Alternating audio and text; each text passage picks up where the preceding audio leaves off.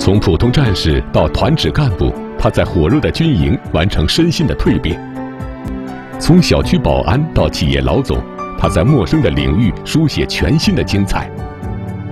军旅人生即将为您播出，周仁全，我的团队，我的团。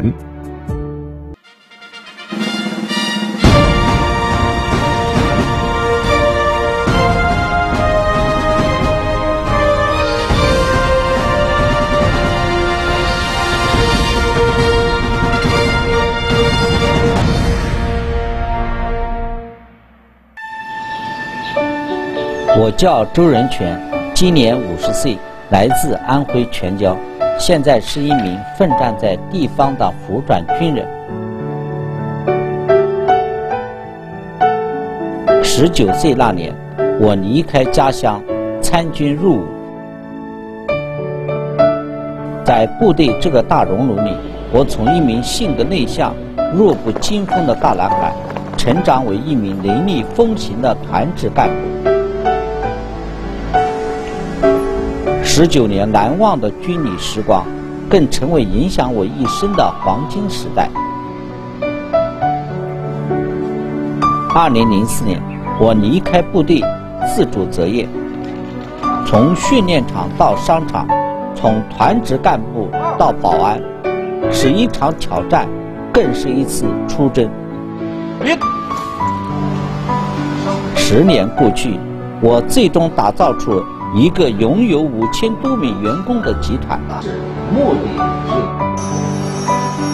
很多人问我成功的秘诀，我想说，那段从军经历是公司发展的元气，更是我干事创业的底气。直到现在，我还是常常想念在部队的点点滴滴，想念那嘹亮而熟悉的军号声。你就是在那一层，生命里有了当兵的历史，一辈子都会感到珍贵。退伍不褪色，我就是周仁全。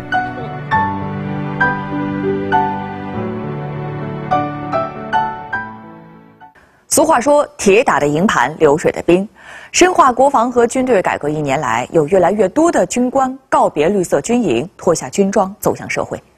面对新的环境、新的岗位、新的面孔。压力和阵痛不可避免。十几年前，我们的主人公周仁全就曾面临过相似的问题。如今十几年过去，周仁全被江苏省委宣传部、江苏省军区政治部评为最美复转军人。今天就让我们一起走进周仁全，领略他转身之后的精彩。我是一九八五年十月入伍到原南京军区某通信团，在部队工作二十年时间。二零零四年，我选择了自主创业。一年一度的退役工作展开之际，周仁全再次来到部队，讲述自主择业的难忘经历，分享一位老兵的绿色情节。对周仁全而言，每次走进军营，就是踏上了他的寻根之旅。我小时候在部队就是学汽车，学这个车床。啊，车床、磨床。虽然早已离开了部队，但“军人”这两个字已经深深烙在了周仁全的心中。十九年的军旅生涯，更成为他生命中难以磨灭的印记。这十八版的啊，他也是第一批自主创业。一九六六年，周仁全出生在安徽全椒县的一个小村庄。一九八五年，在连续两年高考落榜后。他为自己选择了另外一条道路，参军入伍。不过，由于从小体弱多病，来到新兵连没多久，周仁全就吃尽了苦头。立体站了半个小时到一个小时之后，就容易会发晕。单双杠，军体能训练，我的我爬不上去。所以说，当时体能训练的时候，我总是拉着后腿。好胜的周仁全为了能够跟上大家的训练节奏，只能利用业余时间进行加练。啊，别人都午睡了，或者说别的利用时间去去去干别的事情，啊，或者处理个人的事情的时候，我自己就在操场上，到训练场上去进行训练。除此之外，周仁全还主动帮厨、打扫卫生。积极上进、内向寡言，是当时他留给大多数人的印象。当时我的指导员就跟我讲：“你这种性格在不想在部队工作的话，呃，可能还是有问题的。”所以当时他经常会问我：“小周有什么想法？”我说：“不要回家就行。”那不要回家不行，不要回家，你必须要有这种素质才能不能回家。指导员的这番话深深的打动了周仁全。为了能够长期留在部队，他开始有意识的改变自己。比如说，我以前是啊，不敢面对面对同事，都可能讲话呀，各种方式啊，可能都掌握不住。但后来我竟然能够在连队里面进行演讲，他给我人生的变化是，我要学会改变自己，直面困难，挑战自我。是周仁全在部队学到的第一课，也是改变他人生的一课。一九八七年，周仁全考入天津运输工程学院。一九八九年，周仁全军校毕业，分配到南京军区安徽六安汽车技工训练大队。一九九四年，他被调入南京军区通信修理所，从事后勤管理工作。那段难忘的军旅生活。不仅磨练了周仁全的性格，也给予了他极大的信心。二零零四年，周仁全所在部队进行整编，他选择了自主择业。我们一方面是不想给国家减麻烦、添麻烦，啊，安排一个团支干部，毕竟还是要位置；另一个方面，也是想给自己寻找一次新的机会。也想给自己一个新的一个舞台。脱下军装的周仁全带着十万块钱，信心满满的前往上海做面粉批发生意。然而，由于缺乏经验，三个月下来，他就赔得干干净净，血本无归。我这时候再回南京的时候，部队回不去了，地方没办法安置了。我的生意又做失败了，我这时候就不知道该怎么去做了。整整一个月，周仁全都沉浸在一种失败的情绪之中。后来，部队一位老领导了解情况后，介绍周仁全从事物业管理工作。不过，原本可以到办公室工作的他，却执意选择从保安干起。通过我的体验的生活，就通过我的阅历。或者说，保安的这种经历，他会告诉我，保安在想什么，主管在想什么，经理在想什么，业主在想什么，房地产公司会想什么。今天我们在这里按照训练大纲要求进行保安训练，希望大家在训练过程中一定要认真。下面我们开始训练。然而，说起来容易，做起来难。从团支干部到保安，周仁全要面对的除了巨大的心理落差，还有艰难的现实环境。又近，房间很乱、很差，卫生条件也很差，所以这是我无法忍受的。以前是个团支干部，嘣一下过这种日子，这个、这个、这个生活的环境对我来说影响是非常巨大。站在上方格将近两米远的地方。然后面对着火源进行灭火，这时候灭火。不过对周仁全来说，最难忍受的还不是生活条件的艰苦，而是内心那种不知何时靠岸的漂泊感。不确定的因素很多，啊，不是说做保安的时候我就想到做经理，我就想到做老总，他不是这样。就当时实际上是很迷茫。做保安的过程中，对未来的一些想法是很迷茫，或者说说很。看不到，看不到方向。最窘迫的日子里，周仁全常常想念部队，想起自己在军营的岁月，而这也给了他挑战自己的不竭动力。短短三个月，他就走遍了近千户人家，转遍了小区的每个角落。这是我的这个呃小秘密，是我在做保安的时候做的保安日记。这是一户人家，反映着垃圾堆放在窗口，已反映多次不予解决。我亲自到现场陪你道歉，并承诺明天早上八点前一定给清理干净。看起来这个记得这个这个小事情，但是长年累月，你的所有的细节的事情你都知道了，然后你就会积累一丝经验。而这小区到底怎么管理呀？然后所有的细节的东西，你只要讲保安会容易发生什么，我都知道；小区容易发生什么，我都知道；业主容易发生什么，我也知道。晚上大家都休息了，周仁全还要在简陋的民工房里看书到深夜。睡觉都是很少的，大量的时间用于看书。我要尽快的，一方面是体味体会保安的生活，另一个方面要学习保安的知识，物业管理的知识。带着这种直面挑战的军人本色。周仁全又在其他几家公司经历了不同岗位的历练。二零零五年六月二十四日，周仁全注册成立了南京和谐物业管理有限责任公司。我叫周仁全，今年五十岁，来自安徽全椒，现在是一名奋战在地方的服转军人。很多人问我成功的秘诀，我想说。那段从军经历是公司发展的元气，更是我干事创业的底气。直到现在，我还是常常想念在部队的点点滴滴，想念那嘹亮而熟悉的军号声。生命里有了当兵的历史，一辈子都会感到珍贵。退伍不褪色，我就是周仁全。军旅人生正在播出，周仁全，我的团队，我的团。原南京军区司令员向守志上将曾对周仁全说：“在部队，你是一个好兵；回地方，你要做个红色企业家。”这句话是刻在周仁全心头的一句箴言，更是他一直努力的方向。不过，商场如战场，也是需要一番历练的。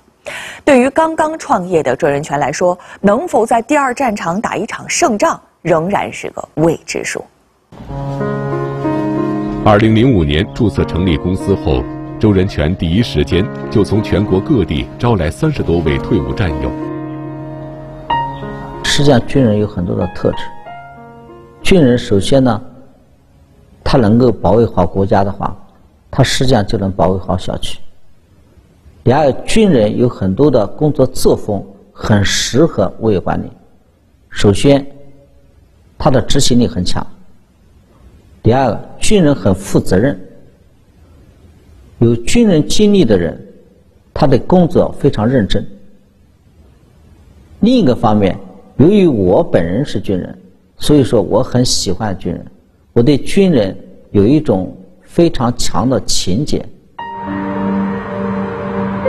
然而万事开头难，公司开张三个月，一单业务也没有接到。虽然有公司了，有名字了，但是没有业务，三个月都没有进账，员工也没有工资，嗯，这时候很很，嗯，这时候很麻烦了。着急之余，周仁全决定另辟蹊径，带领员工给老牌物业管理公司打工，而他接到的第一单业务，就是一家最难管理的老旧小区。那么老旧小区，它因房屋它的质量问题、房地产遗留的遗留问题，啊，包括上一家物业公司在管理上的问题，包括我们自己还有规不规范的问题，包括一些业主啊超值的去想法的这些问题等等。一时间，周仁权的压力大到了极点，但想到身后的战友兄弟们，想到自己在军营的历练。他决定啃下这块硬骨头，不是不怕困难，而是不断的去解决困难的过程中，你增长知识，增长能力，让你解能够解决更多的困难。凭着这股劲头，周仁全带领战友们克服重重困难，几个月下来就使小区面貌焕然一新，打了一场漂亮的翻身仗。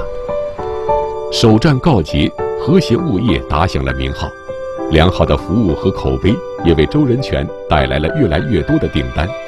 短短五年，和谐物业就升级为国家一级资质物业管理企业，还圆满完成了亚青会和青奥会等重大保障任务。这是我们网站上的一个招聘信息。这个招聘信息上面跟其他公司在招聘信息上有一个很大的区别。就是我们公司退伍军人、军属和党员都是优先考虑，所以这军人呢，在这里在这个单位呢，成分占的比例相对比较高。另外，军人在这个单位工作的呢，他都是呃比较融合与这个公司的文化，能够得到了提拔，得到使用。随着时间的流逝。周仁全内心的军旅情结也日渐加深，打造一支由大量复转军人组成的团队，是他内心一直以来的愿望。由于我本人从部队选择自主创业到地方的时候，我就体会说军人找工作是不易的，所以说我亲身的体验使我对军人。就业的过程中，我有一种担心。我希望军人能够很快找到自己的工作。我希望很多的军人能够在我们的平台上面施展自己的才华。我愿意提供这次机会。他的员工有五千多号人，但是他这个军人就占五百多号人，党员呢也占了有呃一百多一百多个党员，就是部队的。所以说呢，他这种氛围呢，给这个是军人的。一种感觉，总感觉到什么？很亲切。那天我们还讲，我说最起码干到六十岁吧。我是喜欢喜欢，而且我这份工作跟我跟我特别就是特别适合我，因为我本身也就等于是干了一辈子的技术，就中间就说刚刚自主职业那几年做了做了几年生意，其实都都没做好嘛，对吧？我觉得这个工作非常适合我，而且这里面那个就是说，呃，人际关系啊也很简单。在周仁全看来，复转军人的高度执行力和不畏艰难、敢打敢拼的气质，恰恰成了让企业立于不败之地的杀手锏。为了给他们一种归属感，周仁全还特地成立了军人之家。我们转业军人在一起，又经常会搞活动、搞旅游、搞交流、搞各种活动，啊，包括我们自己的互相帮助。平时嘛，他这么忙，他有时候要。是吧？也要找我们，呃，谈谈心呐，或者是问问问家里的情况啊，问问工作情况啊，呃，有什么事情他能帮助的，尽量的他都能帮助你。对于公司里有创业梦想的复转军人，周仁全还会给予资金或项目方面的支持，帮助他们闯荡商场。因此，他们私下称呼周仁全的公司为“创业的黄埔军校”。他们有好多人喊他校长，就是我们就是有，特别是好多是什么呢？就是从我们这个公司出去以后，自己又创业的一些，因为我们公司就是我来的还算比较晚一点，他们早期的早一点的有大概有十十来年了嘛，对吧？十十一年了，有不少就是跟着周总做的，就是过去跟着他干的。今天。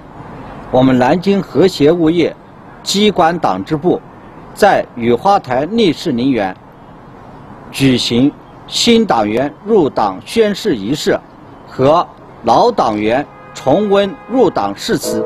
下面大家随着公司的复转军人越来越多，党员越来越多。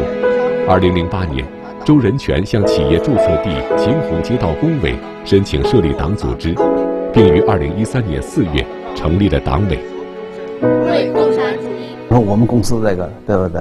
你看，他挂的是红旗，这个挂的是党旗，呃，走到哪里那个都都都按照目前的形势来说，都对到一个党员的标准，对不对？对到一个部队一个这个合格兵的要求来来来抓自己的。我经常讲了，啊，党组织本身就是我们企业的生产力，企业的生产力来自于什么地方？就来自于优秀的员工更多，啊，优秀的员工多了，这个企业它的发展就跟其他的企业有很大的区别。主营物业管理的同时，周仁全也在不断谋求企业转型升级、扩大规模。二零一六年，周仁全注册成立江苏和谐动力集团，大力发展智能制造业，不断设立目标，不断接受挑战，是他为自己选择的征程，也是他退伍不褪色的真实写照。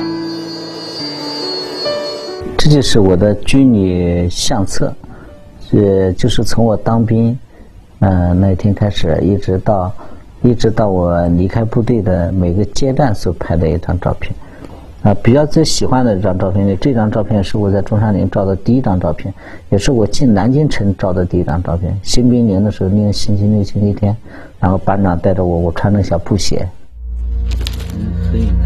如今，每当回忆起自己的军旅时光，周仁全的内心都是满满的幸福感。对他而言，变化的只是角色，不变的是军人本色。他会带着那份军旅情结，和他的团队继续奋战在第二战场。是曾经的军旅生活，照亮了我前行的路。就在不久前，周仁全的公司被江苏省人力资源和社会保障厅评为江苏省自主择业军队转业干部就业创业示范基地。他说：“这是肯定和鼓励，更是自己前行的动力。未来，他将带着一颗冰心，继续勇敢前行。”好，今天的节目就是这样。想要了解更多的最新军事动态，请访问屏幕提示网址，登录中国军事网，关注“军旅人生”微信公众平台。感谢您收看今天的节目，再见。什么样的力量让他刚刚摆脱了死神就继续寻找党？什么样的精神使他耗尽一生证明自己的党员身份？什么样的动力令他义无反顾地抛去过往，加入党组织？军旅人生，下期为您讲述盘点2016，，铁心跟党走。